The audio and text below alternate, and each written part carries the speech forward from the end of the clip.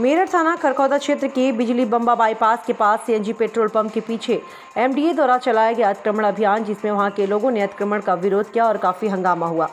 जानकारी के अनुसार आपको बता दें कि थाना खरखौदा क्षेत्र के बिजली बम्बा पुलिस चौकी स्थित सीएनजी पेट्रोल पंप के पास से एमडीए द्वारा हटाया गया अवैध अतिक्रमण।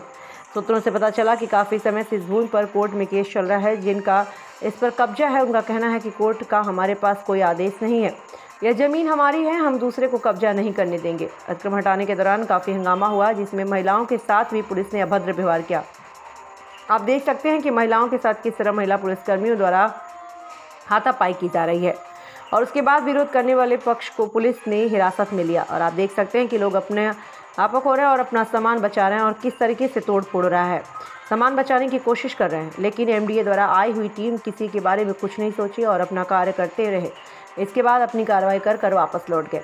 मौके पर पहुँचे एमडीए के मजिस्ट्रेट ने बताया कि हमने शांतिपूर्वक अतिक्रमण हटाया है और जो अवैध कब्जा था उसको कब्जा मुक्त कराया है। जबकि आप देख सकते हैं कि किस तरह से किस शांति के साथ अतिक्रमण अभियान चलाया गया है।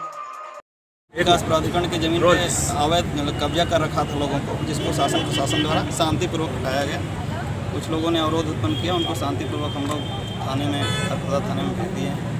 अब यहाँ पे कोई अब तो कोई नहीं रहा। नहीं नहीं अब यहाँ पे शांति व्यवस्था है यहाँ पे कोई प्रॉब्लम नहीं हुई।